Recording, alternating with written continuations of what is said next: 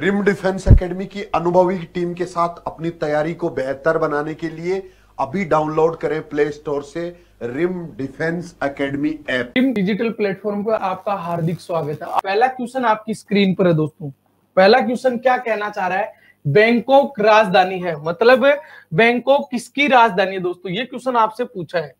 तो इसको देखना, ध्यान से दोस्तों इसमें बैंकॉक राजधानी किसकी प्यारे दोस्तों, पहला ऑप्शन आपको क्या दे रखा है? श्रीलंका। दूसरा ऑप्शन आपको थाईलैंड और तीसरा ऑप्शन लाओस और चौथा ऑप्शन क्या दोस्तों? इनमें से कोई नहीं। तो बताइएगा, पहला क्वेश्चन का आंसर क्या आएगा दोस्तों? तो मैं आपको बता देता हूँ, इसमें क्या पूछा है? बैंकॉक राजधानी है। तो प्यारे दोस्तों, बैंकॉक किसकी राजधानी है? थाईलैंड की राजधानी है। बैंकॉक किसकी राजधानी है? थाईलैंड की। तो इस प्रकार, इस पहले क्वेश्चन का जो आंसर है, वो ऑप्शन बी बिल्कुल राइट आंसर है। चलते अपन अगले क्वेश्चन की ओर। दोस्तों, क्वेश्चन नंबर दो आपकी स्क्रीन पर है। काला मोती के नाम से जाने जाता है। मतलब काला मोती के नाम से क्या जाना जाता है दोस्तों? पहले माराडोना, विनेस विलियम्स या सेरेना विलियम्स? Serena Williams. तो दोस्तों, काला मोती के नाम से क्या जाना जाता है? क्वेश्चन नंबर दो आपकी स्क्रीन पर है। तो मैं आपको बता देता हूँ कि काला मोती के नाम से किसको जाना जाता है? पहले, ऑप्शन पहला इस क्वेश्चन का राइट आंसर है दोस्तों।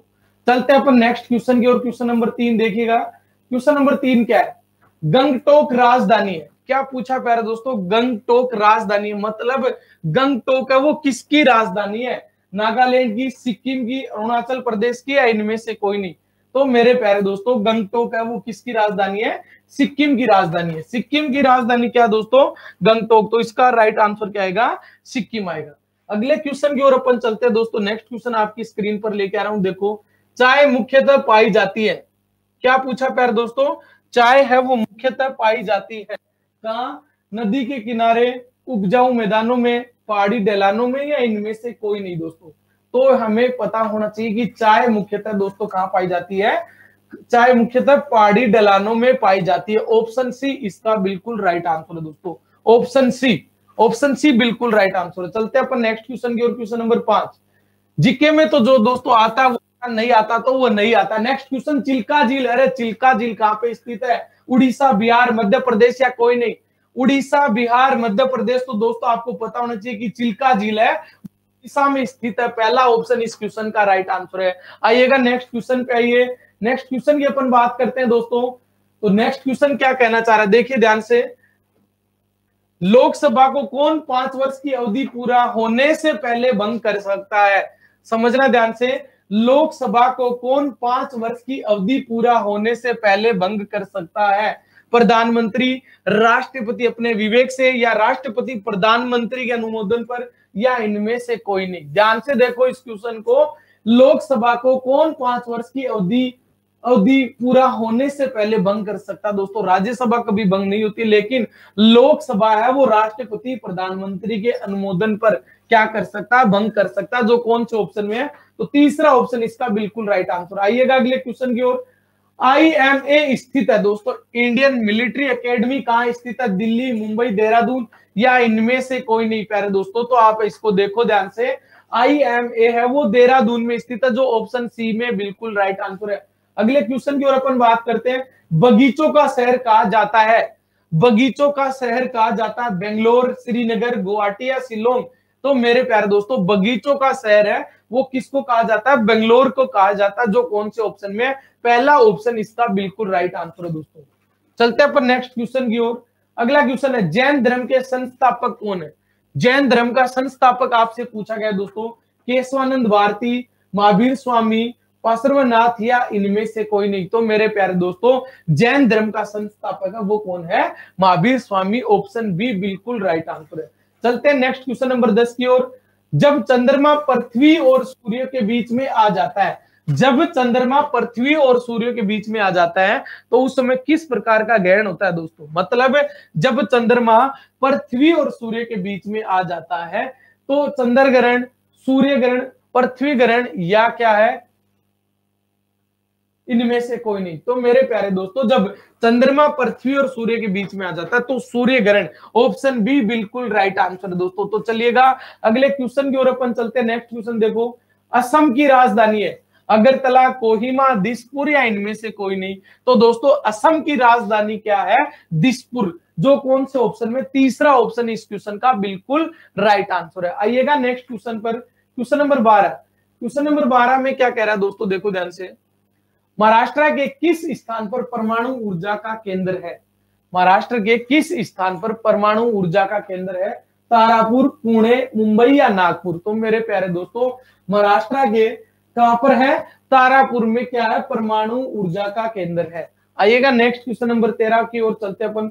संसद के ऊपरी सदन को क्या कहते हैं दोस्तों? संसद, राष्ट्रपति, राज्यसभा या कोई नहीं तो मैं आपको बता देता हूँ दोस्तों, संसद के ऊपरी सदन को क्या कहते हैं? राज्यसभा और संसद के निम्न सदन को कहते हैं लोकसभा। आइएगा अगले क्वेश्चन पर, दोस्तों, क्वेश्चन नंबर चौदह देखिएगा।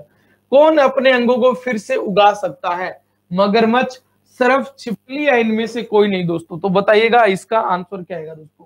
कौन अपने अंगों को फिर से उगा सकता तो मैं आपको बता देता हूँ, दोस्तों, कि छिपकली जो होती है, छिपकली जो होती है, वो अपने अंगों को दोबारा उगा सकती है। तो कौन से ऑप्शन में, दोस्तों? तीसरा ऑप्शन इसका बिल्कुल राइट आंसर है। आइएगा नेक्स्ट क्वेश्चन की अपन बात करते तो ये देखो, वीरता का सर्वोच्च पुरस्कार कौन सा है? वीरता का सर्वोच्च पुरस्कार आपसे पूछा है मेरे प्यारे दोस्तों तो इसका कौन सा है? परमवीर चक्कर या पद्म विभूषण या भारत रत्न या इनमें से कोई नहीं। तो वीरता का सर्वोच्च पुरस्कार है वो दोस्तों कौन सा है? परमवीर चक्कर, जो कौन से ऑप्शन में? ऑप्शन पहला इसका बिल्कुल राइट आंसर है। तो ये पंद्रह क्वेश्चन आपके जीके के हो गए दोस्तों। मतलब जीके और जनरल साइंस है, वो 10-12 मिनट में पूरी कर सकते हो। यदि आता है तो आता है, और नहीं आता तो नहीं आता। दोस्तों, आइएगा अगले क्वेश्चन की, अपन बात करते हैं। क्वेश्चन नंबर सोलह देखो। थर्मामीटर में क्या चीज़ है, वो ताप को दर्शाती है। अच्छा क्वेश्चन है दोस्तों, थर्मामीटर में है, वो क्या चीज़ है, वो ताप को दर्शाती है। सीसा, पारा, चांदी या इनमें से कोई नहीं। तो दोस्तों, थर्मामीटर में पारा है, वो ताप को क्या करती है, दर्शाती है। आइएगा अगले क्वेश्चन की, अपन बात करते हैं। क्वेश्चन नंबर सत्रह। इनमें से कौन सा विद्युत का उत्पादक है? विद्युत का उत्पादक आपसे पूछा है, दोस्तों, जनरेटर गेल्वोनीमीटर एमएमीटर या इनमें से कोई नहीं तो आपको विद्युत का उत्पादक इस ऑप्शन के हिसाब से क्या दिख रहा है, दोस्तों? जनरेटर जो कौन से ऑप्शन में? पहला ऑप्शन एकदम राइट आंसर है। आइएगा अगले क्वेश्चन की ओर, अपन चलते हैं तो दोस्तों नेक्स्ट क्वेश्चन एपी कल्चर संबंधित है मतलब एपी कल्चर किससे संबंधित है? एपी कल्चर किससे संबंधित है? मधुमक्खी पालन से मछली पालन से या लाख कीट से या रेशम कीट से। तो दोस्तों, आपको पता होना चाहिए कि एपी कल्चर है, वो मधुमक्खी पालन से संबंधित है। एपी कल्चर कौन से संबंधित है? मधुमक्खी पालन से संबंधित। आइएगा, अमल बदलता है। अमल बदलता है दोस्तों, क्या पूछा है? अमल क्या होते हैं? अमल अनिल से आप याद रख सकते हो। अमल वो होते हैं जो नीले लिटमस को लाल कर देते हैं। अमल वो होते हैं जो नीले को क्या कर देते हैं? लाल कर देते हैं दोस्तों। तो आप देख सकते हो कौन से ऑप्शन में है। तो पहला ऑप्शन एकदम सही आंसर होगा इसका कि नीले लिटमस को क्या कर देते हैं? लाल कर देते हैं। और क्षार जो होते हैं, वो लाल को नीला कर देते हैं। आइएगा नेक्स्ट क्वेश्चन नंबर बीस। क्या कह रहा है इसमें देखो। निम्न पदार्थों में से, निम्न पदार्थों में सबसे मज़बूत पदार्थ कौन सा है दोस्तों? एल्यूमिनियम ग्रेफाइड या हीरा या पीतल? तो सबसे मज़बूत, सबसे कठोर पदार्थ क्या है दोस्तों? हीरा, जो आप देख सकते हैं इसकी कौन से ऑप्शन में है? तो सी ऑप्शन इसका बिल्कुल राइट आंसर है। नेक्स्ट क्वेश्चन की अपन बात करते हैं क्वेश्चन नंबर 21 देखो। पेनिसिलिन की खोज किसने की थी दोस्तों? लोरेंस ने रोनाल्ड ने या फ्लेमिंग ने? इनमें से कोई नहीं। तो दोस्तों पेनिसिलिन की खोज है, वो फ्लेमिंग ने की थी, जो कौन से ऑप्शन में है? तीसरा ऑप्शन इसका राइट आंसर है। आइएगा नेक्स्ट क्वेश्चन नंबर बाईस में। शरीर का कौन सा अंग पीलियो से प्रभावित तो दोस्तों मैं आपको बता देता हूँ, इसके ऑप्शन थोड़े से अजीब है। पीलिया से कौन सा अंग दोस्तों आरबीसी लाल रक्त कणिकाएँ प्रभावित होती है दोस्तों? नेक्स्ट क्वेश्चन पे आइएगा क्वेश्चन नंबर तेईस। पौधों और जीवों में सबसे मुख्य अंतर क्या दोस्तों? क्या पूछा है? पौधों और जीवों में सबसे मुख्य अंतर वंश बुद्धि का, चलने फिरने का, पाचन का या समास का? तो दोस्तों आपको सीधा सीधा इस क्वेश्चन में दिख रहा है कि पौधों और जीवों में चलने फिरने का मुख्य अंतर होता है। नेक्स्ट क्वेश्चन पे आइएगा। नेक्स्ट क्वेश्चन नंबर चौबीस देखो। निम्न में से कौन सा रासायनिक परिवर्तन है? रासायनिक दो परिवर्तन है, एक भौतिक परिवर्तन और एक रासायनिक परिवर्तन। तो दोस्तों, इसमें क्या पूछा है? कौन सा रासायनिक परिवर्तन है? लोहे का पिघलना, लोहे पर जंग लगना, लोहे का गर्म होना या इनमें से कोई नहीं? तो दोस्तों, रासायनिक परिवर्तन कौन सा है? लोहे पर जंग लगना, जो कौन से ऑप्शन में? दूसरा ऑप्शन राइट आंसर है दोस्तों। आइएगा अगले क्वेश्चन की ओर अपन चलते हैं। जलने में सहायक गैस कौन सी है? ऑक्सीजन हाइड्रोजन नाइट्रोजन या इनमें से कोई नहीं। जलने में कौन सी गैस है दोस्तों? वो क्या है? सहायक होती है। तो आपको पता होना चाहिए कि जलने में ऑक्सीजन गैस क्या होती है? सहायक होती है। आइएगा नेक्स्ट क्वेश्चन पर। क्वेश्चन नंबर छब्बीस। झील के पानी की ऊपरी सतह जमने वाली है। तो उसकी तली के पानी का तापमान याद रखना हमेशा। इसलिए उसमें मछली है वो। जीवित रहती है दोस्तों। कि ऊपर वाले तली पर क्या है? सतह जमने वाली होती है, बल्कि नीचे जो उसका रहता है, वो चार डिग्री सेंटीग्रेड रहता है, जो ऑप्शन सी में है।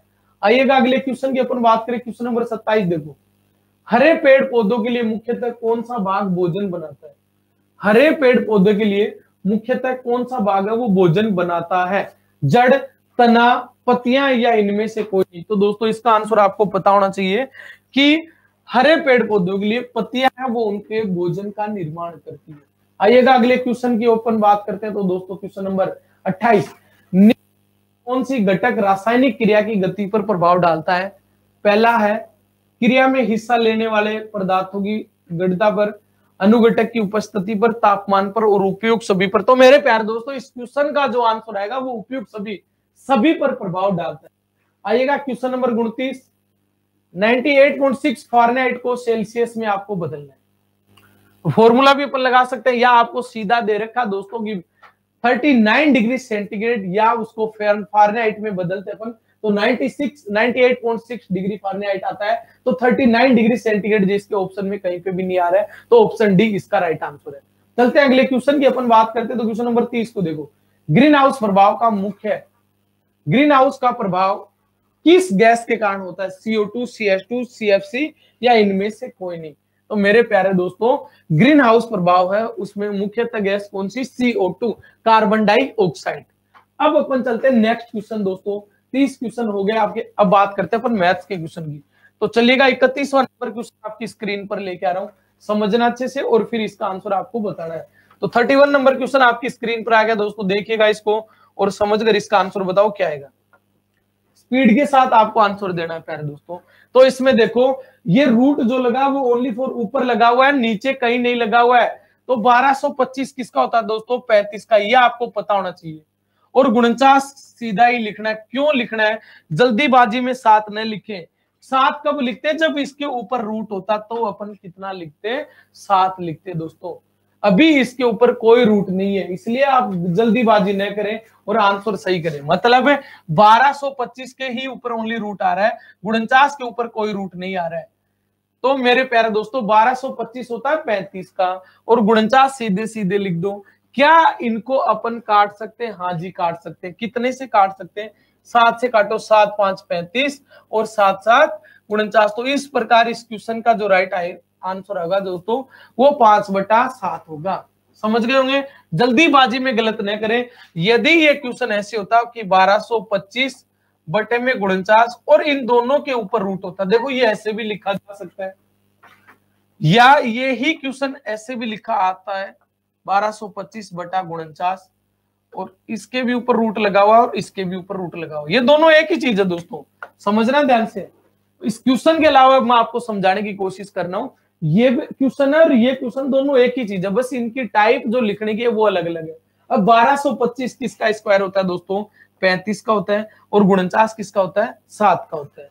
इससे अपन काट सकते तो आंसर गिना था पाँच। लेकिन जो क्वेश्चन आपकी स्क्रीन पर चल रहा है, इसके यहाँ रूट नहीं है। यदि नीचे गुणचास के भी रूट होता तो आंसर इसका पाँच आता चलते अपन नेक्स्ट क्वेश्चन की ओर दोस्तों। क्वेश्चन नंबर बत्तीस देखना। क्वेश्चन नंबर बत्तीस में आपसे क्या पूछा? बत्तीस नंबर क्वेश्चन की आपकी स्क्रीन पर आ गया। क्या कहना चाह रहा है? देख लो।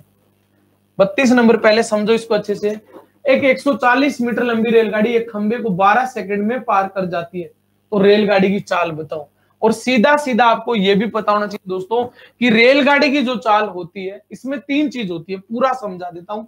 एक होती है चाल, एक होती है दूरी और एक होता है समय। आप इस क्वेश्चन जो आपकी स्क्रीन पर चल रहा है, वो आप कर सकते हैं। देख लो ध्यान से और मैं आपको समझाता हूँ।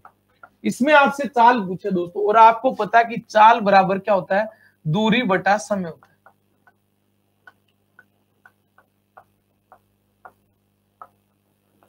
चाल बराबर क्या होता है? दूरी बटा समय होता है। अब इसको समझना आप अच्छे से। ट्रेन में दोस्तों, ट्रेन का क्वेश्चन आता है तो इसमें जो चाल आती है, वो किलोमीटर प्रति घंटा में आती है। समझा रहा हूँ? ध्यान से समझना। और इसमें जो दूरी आती है, वो दोस्तों मीटर में आती है। और समय जो आता है, वो सेकंड में आता है। अब आप समझने की कोशिश करना, हमें इस क्वेश्चन में क्या पूछा है? चाल पूछी है क्या पूछी है? चाल। और चाल बराबर क्या होता है? दूरी बटा समय। अब प्यारे दोस्तों, जब वो रेलगाड़ी है वो एक खंबे को पार करती है। जब ये मान लो एक रेलगाड़ी है किसी खंबे को पार करती है तो रेलगाड़ी की तुलना में इस खंबे की लंबाई कुछ नहीं है, इसलिए खंबे की लंबाई को नगण्य मानते हैं। खंबे की लंबाई को क्या मानते हैं? नगण्य मानते हैं। अब अब दोस्तों, रेलगाड़ी की जो मतलब है, वो रेलगाड़ी है लंबाई के लिए, उस रेलगाड़ी की लंबाई को ही लेते हैं। तो यहाँ देखो, रेलगाड़ी की लंबाई कितनी दोस्तों? 140 है। और नीचे समय कितना दोस्तों? 12 है। यहाँ तक बोलो मेरे प्यारे दोस्तों, कोई डाउट किसी को अब इसको अपन सरल भी कर सकते हैं। बोलो, कर सकते हैं, नहीं? हाँ कर सकते हैं। इसमें भाग दे लो। भाग दे लो, चार का दे लो, चलो। चार का देता हूँ तो चार तिया बारह। और चार का इसमें देंगे तो चार तिया बारह दोस्तों चार पाँच बीस। ये आएगा पैंतीस बटा तीन। अब आपके दिमाग में चल रहा होगा कि सर ऑप्शन तो इसमें है ही नहीं क्वांटो में। तो प्यारे दोस्तों, ये जो आ रही है, ये किसमें आ रही है? बोलो, ये आ रही है वो मीटर प्रति सेकंड में आ रही है। ये किसमें आ रही है? मीटर प्रति सेकंड में। अब आपको ये चीज़ पता होना चाहिए। क्या? यदि चाल, टॉपिक के साथ ही आपको ये चीज़ें समझनी है। यदि चाल मीटर प्रति सेकंड में है, यदि चाल मीटर प्रति सेकंड में है और इसको किलोमीटर प्रति घंटा में बदलना है तो दोस्तों 18 बट्टे पाँच से गुणा करना ध्यान रखना है। ये समझा दूँगा 18 बट्टे पाँच ये कहाँ से आए बस आपको यही ध्यान रखना भी कि यदि चाल मीटर प्रति सेकंड में और किलोमीटर प्रति घंटा में बदलनी है तो चाल को 18 बटे पाँच से गुणा करना है। तो यहाँ दोस्तों 35 बटा तीन है, इसको 18 बटे पाँच से गुणा कर दो। बस ये याद रखना। अब पाँच से पाँच एकम पाँच, और ये कटेगा पाँच सात पैंतीस। तीन से कट गया दोस्तों कितनी बार? छह बार। छह को सात से गुणा करेंगे तो कितना आएगा? बयालीस आएगा। छह को सात से गुणा करेंगे तो गिनाएगा दोस्तों? बयालीस। तो इस प्रकार इस क्वेश्चन का जो राइट आंसर आएगा, बयालीस किलोमीटर प्रति घंटा आएगा, जो कौन से ऑप्शन में है? तो दूसरा ऑप्शन इसका राइट आंसर है। कितना? बयालीस किलोमीटर प्रति घंटा। इन पूरी चीज़ों की आप स्क्रीनशॉट ले ले। ध्यान क्या क्या रखना है? चाल बराबर दूरी बटा समय होता है। और चाल ट्रेन में किलोमीटर प्रति घंटा में आती है। दूरी किसमें आती है दोस्तों? दूरी है वो मीटर में आती है और समय सेकंड में आता है। दूसरा, यदि चाल मीटर प्रति सेकंड में है और किलोमीटर प्रति घंटा में बदलना है तो 18 बटे पाँच से गुणा करना है और किलोमीटर प्रति घंटा को मीटर प्रति सेकंड में बदलेंगे तो पाँच बटे अठारह से गुणा करना आइएगा अगले क्वेश्चन की ओर, अपन चलते हैं दोस्तों, क्वेश्चन नंबर तैतीस देख। नेक्स्ट क्वेश्चन क्वेश्चन नंबर तैतीस आपकी स्क्रीन पर लेके आ रहा हूँ, ये लो। क्या आया तैतीस नंबर क्वेश्चन? समझना इसको अच्छे से, फिर इसका आंसर बताओ। देखो, एक वर्गाकार खेत का परिमाप वो 240 मीटर है। एक वर्गाकार खेत है दोस्तों, जिसका परिमाप आपको कितना दे रखा है? 240 दे रखा है। तो उसका क्षेत्रफल क्या होगा? अब वर्ग के बारे में थोड़ा सा बता देता हूँ आपको। दोस्तों, वर्ग का क्षेत्रफल एरिया ऑफ़ स्क्वायर आपको पूछा जाता है। वर्ग का क्षेत्रफल यदि आपसे पूछा जाए तो इसका फॉर्मूला क्या होता है? भुजा स्क्वायर यदि वर्ग का क्षेत्रफल पूछा जाता है तो क्या होता है? भुजा स्क्वायर और यदि आपको वर्ग का परिमाप पूछा जाए वर्ग का परिमाप यदि आपसे पूछा जाता है तो वो कितना होता है? चार गुना भुजा होता है। ये दोनों चीज़ आपको पता होना चाहिए दोस्तों। अब अब सीधी सी बात ये है कि वर्ग का कोई भी क्वेश्चन करने के लिए हमें वर्ग की भुजा के बारे में पता होना चाहिए। वर्ग का कोई भी क्वेश्चन करने के लिए वर्ग की भुजा के बारे में पता होना चाहिए। तो यहाँ देखो ध्यान से प्यारे दोस्तों, वर्ग का जो परिमाप दे रखा है, एक वर्गाकार खेत का परिमाप दे रखा है, वो 240 है। वर्गाकार खेत का परिमाप कितना है? 240 तो आपको पता परिमाप कितना होता है? चार गुना भुजा। मतलब परिमाप जब होता है दोस्तों, जहाँ से आप चलना स्टार्ट करते हो, वहीं पे वापस आके रुकते हो, उसको परिमाप बोलते हैं। तो इसमें कितनी बार भुजा गई देखो? यहाँ से चले, यहाँ गए यहाँ गए यहाँ गए यहाँ गए। तो टोटल 240 है इसका मतलब इसमें चार बार आ गई दोस्तों। तो इसमें चार का भाग देंगे। तो ये कितना आ गया? साठ आ गया। मतलब क्या हुआ? वर्ग की भुजा कितनी आ गई? साठ। या वर्ग का परिमाप क्या होता है दोस्तों? चार गुना भुजा होता है। वर्ग का परिमाप होता है वो चार गुना भुजा होता है, जिसका मान आपको 240 दे रखा है। क्या मैं इस चार से काट सकता हूँ? जी, काट सकता हूँ। कितनी बार? साठ बार। तो आपकी वर्ग की भुजा गई साठ। हमें क्या पूछा? क्षेत्रफल। क्षेत्रफल होता है भुजा स्क्वायर। क्षेत्रफल क्या होता है? भुजा स्क्वायर। तो साठ का स्क्वायर कितना हो जाएगा? छत्तीस वर्ग मीटर, जो कौन से ऑप्शन में है? दूसरा ऑप्शन बिल्कुल राइट आंसर है। बोलो, आप कोई डाउट यहाँ तक? तो चलते हैं अपन नेक्स्ट क्वेश्चन की ओर। स्क्रीनशॉट लेते रहना दोस्तों साथ में। क्वेश्चन नंबर चौतीस को देखना। चौतीस नंबर क्वेश्चन आपकी स्क्रीन पर लेके आ रहा हूँ। ये लो। चौतीस नंबर क्वेश्चन आपकी स्क्रीन पर शानदार क्वेश्चन आपकी स्क्रीन पर आ गया। देखो वापिस क्वेश्चन को। और समझो इसको कि दो संख्याओं के विक्रमों का योग है, वो सात बटा चौबीस है। यदि पहली संख्या दोस्तों छह है तो दूसरी संख्या बताओ। सीधा ऑप्शन से भी अपन इसको कर सकते हैं। ऑप्शन से करना चाहो तो ऑप्शन से भी कर सकते हैं। दो संख्याओं के विक्रमों का योग दोस्तों कितना दे रखा है? सात बटा चौबीस दे रखा है। यदि एक संख्या छह है तो दूसरी संख्या ज्ञात करो। अब आप इसको सीधे ऑप्शन से कर लो। ऑप्शन से नहीं करो तो वैसे कर लो। आपकी इच्छा है, जैसे भी आप करो। बोलो। अब देखो, मान लो मैं एक संख्या आठ मानता हूँ। एक बार देखो, एक संख्या मैंने आठ मान ली और एक संख्या आपको छह दे रखी है। तो छह का विक्रम मतलब इसका उल्टा। एक बटा छह, और आठ का उल्टा कितना हो गया दोस्तों? एक बटा आठ। इसको अपन सरल करते हैं तो एल्सियम बोलो कितना आएगा छह और आठ का एल्सियम कितना आएगा चौबीस आएगा दोस्तों। चौबीस में छह का भाग दो तो छह चौक चौबीस। चौबीस में आठ का भाग दो, आठ या चौबीस। कितना हो गया दोस्तों? सात बटा चौबीस। क्या इनके व्युतक्रमों का योग है वो सात बटा चौबीस ही आ रहा है? हाँ जी, इसमें तो कुछ करना ही नहीं पड़ा। बोलो, इसमें तो कहीं कुछ करना ही नहीं पड़ा। सीधा सीधा इसका आंसर आ गया, जो कितना आ गया? आठ आ गया दोस्तों। तो इस प्रकार आप इस क्वेश्चन को कर सकते हो। बोलो, आप कोई डाउट कोई भी डाउट तो आराम से आप पूछ सकते हैं दोस्तों। कहीं पे भी आपको डाउट लगे तो बेझिझक आप पूछ सकते हैं। चलिएगा, अगले क्वेश्चन की अपन बात करते हैं दोस्तों। नेक्स्ट क्वेश्चन क्वेश्चन ये लो क्वेश्चन नंबर पैंतीस, जिसमें आपसे कुछ नहीं पूछा है। कुछ भी इसमें नहीं पूछा क्वेश्चन नंबर पैंतीस आपकी स्क्रीन पर चल रहा है। देखो तो ये देखिएगा दोस्तों, ध्यान से। इसमें 26 का स्क्वायर पूछा, स्क्वायर आपको याद होना चाहिए, बस आपको और कुछ नहीं होना चाहिए, दूसरा तो 26 का स्क्वायर दोस्तों कितना होता है? छह सौ छिहत्तर। आपको कम से कम 30 तक स्क्वायर याद होना चाहिए, यदि पेपर एकदम अच्छे से क्रेक करना है तो कम से कम 30 तक स्क्वायर आपको याद होने ही चाहिए। तो चलते हैं नेक्स्ट क्वेश्चन की ओर, अपन दोस्तों, क्वेश्चन नंबर छत्तीस को देखना। नेक्स्ट क्वेश्चन आपकी स्क्रीन पर लेके आ रहा हूँ तो ये देखो, नेक्स्ट क्वेश्चन आपकी स्क्रीन पर आ गया दोस्तों। समझो इसको और फिर इसका आंसर लगाओ, क्या आएगा? एक मोटरसाइकिल सात हज़ार रुपए में खरीदी गई है। एक साइकिल है दोस्तों, वो कितने में खरीदी? सात हज़ार में खरीदी है और इसको दस परसेंट लाभ पर बेचा गया सात हज़ार में खरीद कर दस परसेंट लाभ पर इसको बेचा गया है। तो बताओ इसका विक्रय मूल्य क्या होगा? मतलब आपको क्रय मूल्य दे रखा है। क्रय मूल्य दे रखा है और दस परसेंट इसको लाभ पर बेचना है। तो इसका विक्रय मूल्य क्या होगा? तो मेरे प्यार दोस्तों, सात हज़ार दस परसेंट लाभ पर बेचेंगे तो 110 बटे में कितना आएगा? सो, क्या मैं इन दोनों ज़ीरो से काट सकता हूँ? हाँ जी। 700 को 11 से गुणा करेंगे तो 11 सात सतहत्तर कितना आ जाएगा? 7700 जो कौन से ऑप्शन में है? दूसरा ऑप्शन इसका बिल्कुल राइट आंसर है। सात हज़ार सात सौ। चलते हैं अगले क्वेश्चन की ओर। दोस्तों क्वेश्चन नंबर सैंतीस को समझना। क्वेश्चन नंबर सैंतीस आपकी स्क्रीन पर लेके आ रहा हूँ तो समझना। ये लो नेक्स्ट क्वेश्चन आपकी स्क्रीन पर आ गया देखो, आठ संख्याओं का औसत कितना है? इक्कीस है। आठ संख्याओं का औसत कितना है दोस्तों? इक्कीस है। यदि सभी संख्याओं को आठ से गुणा करें, आठ संख्याएँ आपको दे रखे जिनका औसत कितना है? इक्कीस है। और आगे यदि सभी संख्याओं को कितने से गुणा करें? आठ से गुणा करें तो प्राप्त संख्याओं का औसत क्या होगा? तो मेरे प्यार दोस्तों, सीधा सा समझा देता हूँ आपको। यदि आपको औसत दे रखा और प्रत्येक संख्या में या तो कुछ जोड़ने के लिए कहा जाए या कुछ घटाने के लिए कहा जाए या भाग करने के लिए या गुणा करने के लिए।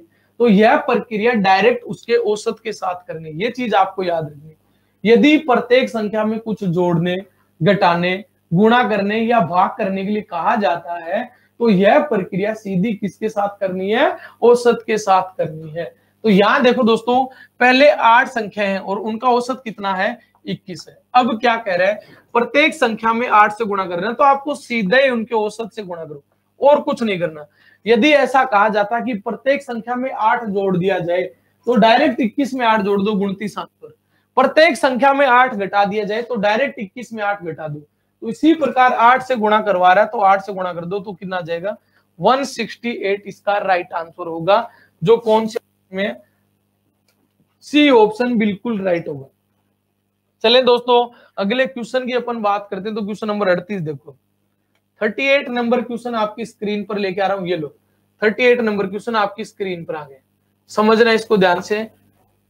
डेविड ने एक बैंक से छह हज़ार रुपए तीन वर्ष के लिए उधार लिए। डेविड ने एक बैंक से छह हज़ार रुपए तीन वर्ष के लिए उधार लिए। उसे 12 प्रतिशत वार्षिक दर से साधारण ब्याज पर अदा करना पड़ा।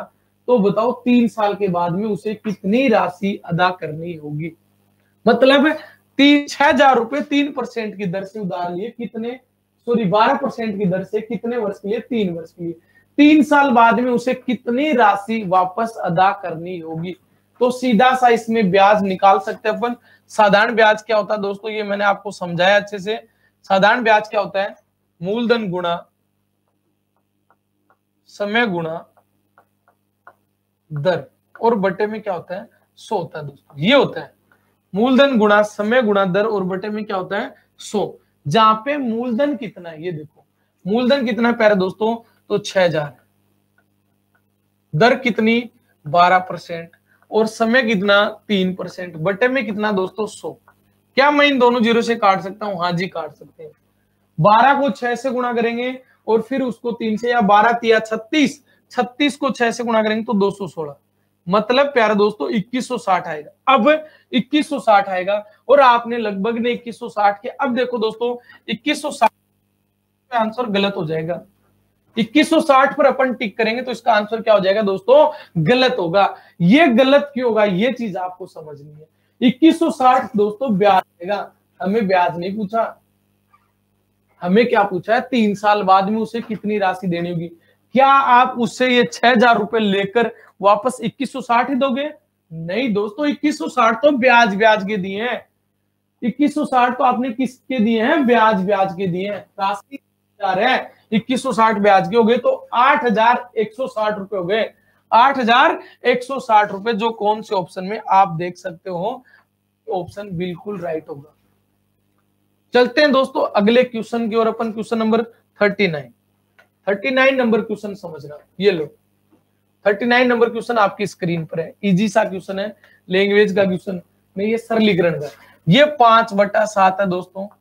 और आगे तेरह बटा इक्कीस है। और आगे दोस्तों कितना? तीन बटा चार। तो सबसे पहले तो हमें क्या लेना है इनका? एल्सियम लेना है। सबसे पहले क्या लेना है? एल्सियम तो दोस्तों एल्सियम कितना जाएगा? 84 एल्सियम निकाल सकते हैं अपन। कैसे? सात, इक्कीस और चार का हमें एल्सियम लेना है। तो सबसे पहले दोस्तों एल्सियम क्या होता है? छोटी से छोटी संख्या। तो मतलब हम सबसे पहले किसका भाग देंगे? दो का भाग देंगे। दो का भाग यदि अपन इसमें देते हैं दोस्तों, दो का भाग देंगे तो यहाँ सात आएगा, यहाँ इक्कीस आएगा यहाँ दो ही आएगा। वापस अपन दो का भाग देंगे, यहाँ सात, यहाँ इक्कीस और यहाँ एक आएगा दोस्तों। अब अपन तीन का भाग देंगे तो सात सात। अब किसका? सात का देंगे, एक आगे। गुणा कर लो दोस्तों। सात या इक्कीस इक्कीस दूनी बयालीस और बयालीस का डबल एट्टी फोर मतलब इनका एल्सियम कितना आ गया? चौरासी आ गया। चौरासी में पहले किसका भाग देना है? सात का। तो बारह बार जाएगा। बारह संती चौरासी। और बारह को पाँच से गुणा करेंगे तो बारह पंचो कितना आएगा? साठ आएगा दोस्तों। प्लस, आगे देखो, चौरासी में किसका भाग देना है? इक्कीस का। कितनी बार जाएगा? चार बार जाएगा। चार को तेरह से गुणा करेंगे तो तेरह चौक बावन दोस्तों। उसी प्रकार चौरासी में किसका भाग देना है? चार का। इक्कीस बार और इक्कीस दिया तिरसठ। अब इनको अपन जोड़ सकते हैं दोस्तों। आराम से इनको अपन जोड़ सकते हैं। तो साठ साठ, एक सौ बीस और पचास, एक सौ सत्तर, तीन, एक सौ तिहत्तर और दो, एक सौ पिछहत्तर तो दोस्तों, ऊपर आएगा एक सौ पिछहत्तर और नीचे गिना आएगा एट्टी फोर। अब आप देख सकते हो ये कौन से ऑप्शन में। क्या आपको ये ऑप्शन दिख रहा है? हाँ जी, एक सौ पिछहत्तर बटे चौरासी, ये तीसरा ऑप्शन इसका राइट आंसर हो जाएगा। बोलो। चलिएगा तो। नेक्स्ट क्वेश्चन की अपन बात करते क्वेश्चन नंबर फोर्टी समझना फोर्टी नंबर क्वेश्चन आपकी स्क्रीन पर लेके आ रहा हूँ। ये लो। क्या पूछा? एकदम इजी सा क्वेश्चन है। अरे 25 प्रतिशत को भिन्न में बदलना है। मतलब सीधा सीधा है। 25 प्रतिशत को भिन्न में बदलना है। तो प्रतिशत जब अपन हटाते हैं तो नीचे कितना लिखते हैं? सौ लिखते हैं। या 25 परसेंट की फ्रैक्शन कितनी होती है? एक बटा चार होती है। तो 25 से कम 25 और पच्चीस चौक सौ। तो दोस्तों कितना आएगा? एक बटा चार। एक बटा चार इसका राइट आंसर है, जो कौन से ऑप्शन में है? पहला ऑप्शन बिल्कुल सही है, एक बटा चार। क्वेश्चन पूछा गया है ऐसा, बहुत बार पूछा गया चलते अपन अगले क्वेश्चन की ओर दोस्तों। तो अगला क्वेश्चन क्वेश्चन नंबर इकतालीस देखना। इकतालीस नंबर क्वेश्चन आपसे पूछा गया ये लो। इकतालीस नंबर क्वेश्चन में आपसे क्या पूछा? देखो ध्यान से। तीन अनुपात सात बराबर उनचालीस अनुपात अक्स मान ज्ञात करना किसका अक्स का दोस्तों तो ये बराबर है। बराबर की जगह समानुपात भी आ सकता है कुछ भी आ सकता है। तो इसको अपन कैसे सरल करते हैं दोस्तों? अंदर वाले अनुपात को अंदर वाले से गुणा करते हैं और बाहर वाले अनुपात को बाहर वाले से गुणा करते हैं। तो यहाँ इसको इससे गुणा करना है और इसको इससे गुणा करना है। तो तीन को तो अक्स से करूँगा तो दोस्तों कितना आएगा? तीन गुणा अक्स बराबर सात गुणा कितना आएगा? उनचालीस क्या बराबर के दोनों तरफ़ सभी संख्या गुणा में तो क्या आपस में इनको काट सकते हैं? हाँ जी। यदि बराबर के दोनों तरफ़ सभी संख्या गुणा में है तो आपस में काट सकते हैं। तीन एकम तीन तीन से कटेगा एक बार। और तीन से ये कितनी बार कटेगा दोस्तों? तेरह तिया उनचालीस। और तेरह सात कितना हो जाएगा? इक्यानवे। तो इस प्रकार इस क्वेश्चन का जो राइट आंसर होगा नाइनटी वन। जो कौन से ऑप्शन में है? चौथा ऑप्शन राइट होगा। चले। अगले क्वेश्चन की ओर अपन चलते हैं। क्वेश्चन नंबर बयालीस देखो। क्वेश्चन नंबर बयालीस आपकी स्क्रीन पर लेके आ रहा हूँ दोस्तों, ये लो। क्या पूछा आपसे? पिछहत्तर पैंतालीस और अठारह का एस आपको ज्ञात करना है। तो मैंने आपको समझा दिया। ऑप्शन से करो तो ऑप्शन से कर लो। मतलब बेहतर, पैंतालीस और अठारह में एस बड़ी से बड़ी संख्या ज्ञात करो, जिसमें जिसका इन सभी संख्याओं में भाग जा रहा है। बड़ी से बड़ी। तो बड़ी से बड़ी अठारह लेते हैं। तो अठारह का भाग इसमें जा रहा है। पैंतालीस में नहीं जा रहा है। तो ये तो गलत हो गया। इससे छोटी कौन से नौ। नौ में, बेहतर में नौ का भाग जा रहा है। पैंतालीस में जा रहा है और अठारह में जा रहा है। तो इस प्रकार इसका आंसर कितना जाएगा नो। पहला ऑप्शन राइट आंसर समझ गए? चलिएगा अगले क्वेश्चन की अपन बात करते हैं। तो फोर्टी थ्री नंबर क्वेश्चन देखिए। फोर्टी थ्री में क्या पूछा दोस्तों? ये लो। ये टॉपिक भी मैंने आपको सुबह ही करवाया है। ए किसी काम को 12 दिन में और बी उसे 24 दिन में पूरा कर सकता है। ए कितने दिन में कर रहा है? 12 दिन में और बी कितने दिन में कर रहा है? 24 दिन में। तो बताओ दोनों मिलकर उसे कितने दिन में पूरा करेंगे? ये क्वेश्चन है। इंपॉर्टेंट अच्छा क्वेश्चन है। ध्यान से पढ़ लेना अभी। जब नहीं आता तो समझना। इससे भी आप समझ जाओगे अच्छे से। सबसे पहले ये बता रहा है कि ए है वो बारह दिन में कर रहे है। और बी कितने दिन में कर रहा है? बी इस काम को 24 दिन में कर रहा है। अब मैंने आपको क्या बताया था दोस्तों? कि समय कार्य का कभी भी कोई भी क्वेश्चन आता है तो सबसे पहले एल्सियम लेते हैं। तो एल्सियम अपन लेंगे किसका? 12 और 24 का दोस्तों। तो 12 और 24 का एल्सियम अपन लेते हैं। तो सबसे पहले दो का भाग देंगे।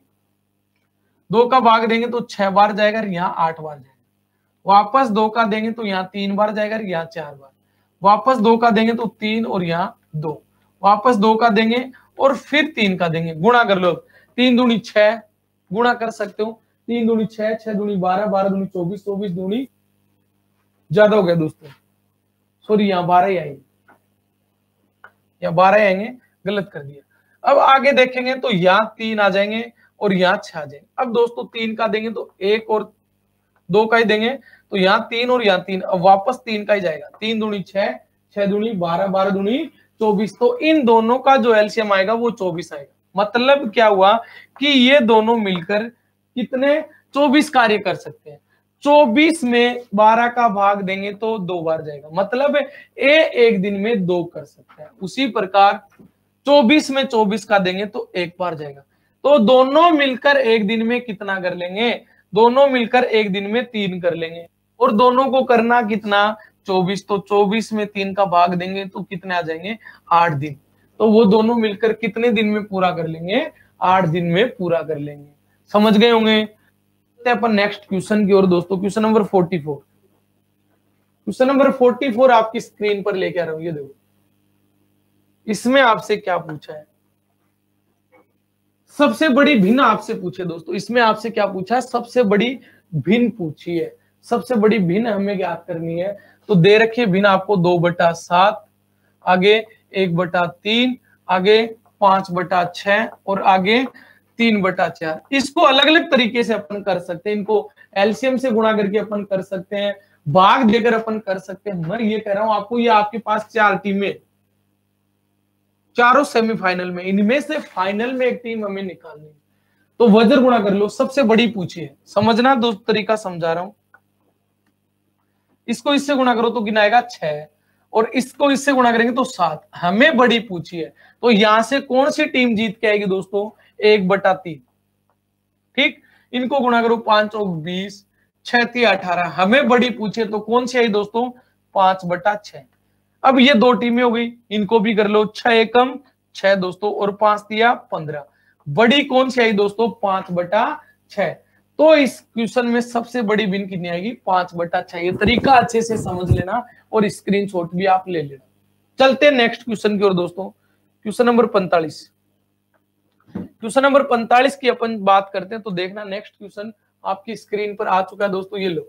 Next question question number forty five आपकी स्क्रीन पर आ गया। समझना इसको अच्छे से और फिर इसका आंसर बताना। रीता और उसकी माँ की उम्र का अनुपात जो आपको दे रखा है, वो तीन अनुपात ग्यारह है। और उनकी आयु के बीच का अंतर 24 वर्ष है। तो तीन साल बाद रीता की उम्र क्या होगी? सीधा सीधा एक क्वेश्चन आपको दे रखा है। एकदम सीधा सीधा दे रखा है। देखो ध्यान से। क्या? क्या दे रखा है दोस्तों? समझना ध्यान से। तो क्या कहना चाह रहा है? कि इनकी आयु का जो रेशियो दे रखा वो तीन अनुपात ग्यारह है। और इनकी आयु का जो अंतर दे रखा वो दोस्तों चौबीस है। मतलब चौबीस इन दोनों की आयु के बीच का अंतर है। तो तीन और ग्यारह में अंतर कितने का दोस्तों? आठ का है। आठ से घटेगा कितनी बार? तीन बार। तीन से गुणा करो। तीन तिया नौ जाएगा दोस्तों, और तीन को ग्यारह से करेंगे ग्यारह तिया तैतीस। अब हमें पूछिए, ये वर्तमान की उम्र आई है दोनों की? हमें कब की पूछिए तीन साल बाद रीता की उम्र पूछिए तो दोस्तों, आज रीता नौ साल की है। तो तीन साल बाद में कितनी साल की होगी? बोलो। तीन साल बाद में बारह साल की होगी। तीन साल बाद में कितने साल की होगी दोस्तों? बारह साल की होगी। तो इसका आंसर बारह ही आएगा, जो ऑप्शन में नहीं है। बारह इस क्वेश्चन का राइट आंसर दोस्तों। बारह इस क्वेश्चन का क्या होगा? एकदम राइट आंसर होगा दोस्तों। आज के लिए इतना ही। Thank you